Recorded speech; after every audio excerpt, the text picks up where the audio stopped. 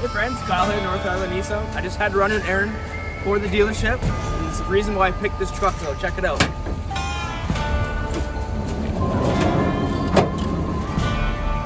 Come down and see us.